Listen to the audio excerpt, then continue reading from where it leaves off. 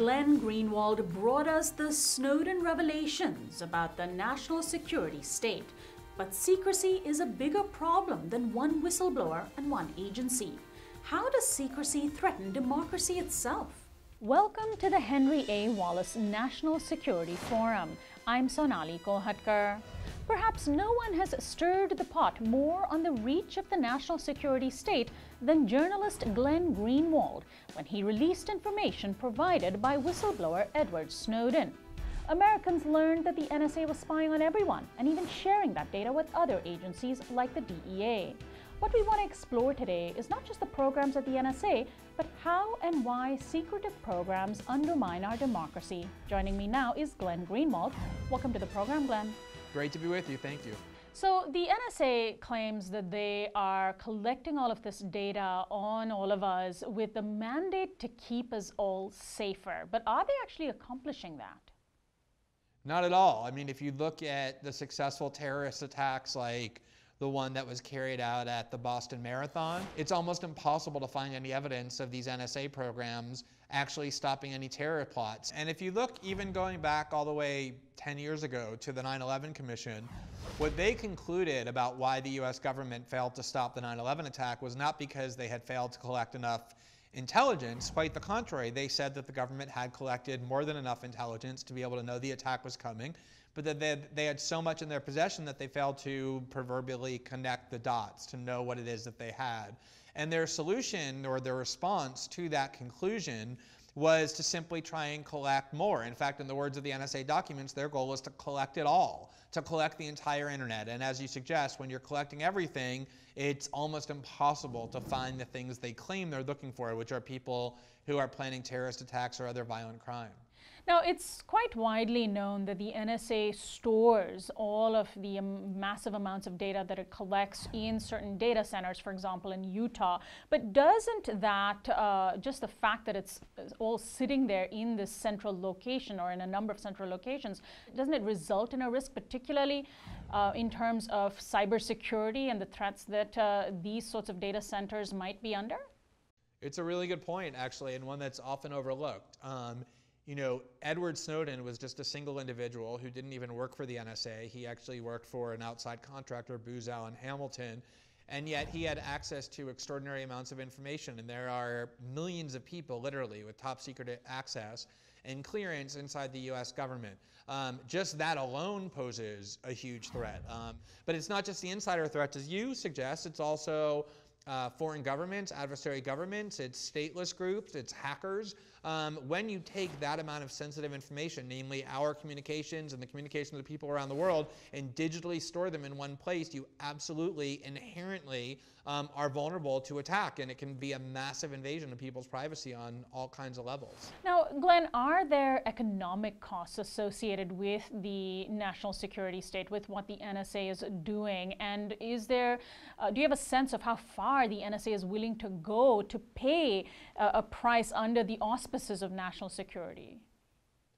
Well, there's an enormous price just in terms of the budget. Um, you know, people like to make the point that Russia and China and, and Iran um, and every other country essentially on the planet engages in electronic surveillance, and that's true, but nobody does it near to the extent of the United States, and that's just simply a question of resources. We spend so much more on the NSA or electronic surveillance than any other country by far, billions and billions of dollars a year. So that right there is an enormous cost. But then there's the cost of when people find out that this spying is being is, is taking place, people will no longer trust the American tech sector. Now, here in the United States, the NSA justifies its spying, saying they're, they're essentially protecting the country from uh, those who are doing something wrong, people who have something to hide, the bad folks. And we know historically, for example, the FBI spied on civil rights activists, on Martin Luther King Jr. Um, and, and today, uh, on anti war activists and environmentalists, we see this continuing uh, as if these are people who are doing something wrong. How do you respond to that? There's two points worth making about that. Number one is when we talk about somebody doing something wrong, many different people mean very different things when they talk about someone doing something wrong. We might mean somebody who's planning an attack to blow up a building or a subway train and kill lots of civilians, but people in power tend to view anyone who challenges their power as doing something wrong. The other point worth making is that a surveillance state affects everybody, not just the people who are, quote, doing anything wrong, whatever we might mean by that. Just the knowledge that you might be watched or monitored means that you change your behavior in all kinds of ways. There are all kinds of psychological studies showing that people become much more conformist and cautious and afraid. Um, they make much more limited choices whenever they perceive that they might be monitored as opposed to when they believe they can act without being watched. And so a surveillance society is really a conformist society, which is why almost every government craves surveillance. Now, Glenn, does, uh, does the NSA's approach to national security have the uh, opposite effect that citizens who might be afraid of landing up on a watch list might be more reluctant to actually report on real national security threats if they see something? It has a deterrent effect in, in all kinds of ways. Um, and you know, that's one of the ironies is after 9-11, the US government believed that one of the critical objectives for being able to stop terrorism and to find extremists who are actually dangerous was to work closely and in collaboration with the Muslim American community and American Muslim leaders around the country. And yet, everything the US government has done over the past 13 years has been designed to do the opposite to break any trust, to make any kind of collaboration impossible. I mean, if a community knows that the government is spying on it pervasively, that they're infiltrating it, that they perceive it as a threat, all of which the US government has done, that if you say the, even a slightly wrong thing at one point about your political views, you could get onto a radar of the government or even a watch list or be accused of terrorism.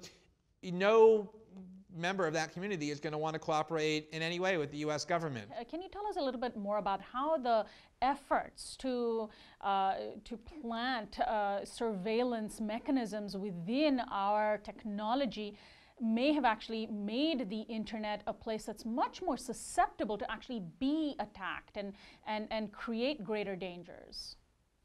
We talk a lot in the wake of the Snowden revelations about encryption, the idea that you use certain means to protect your emails or your chats um, if you want to protect it from being monitored.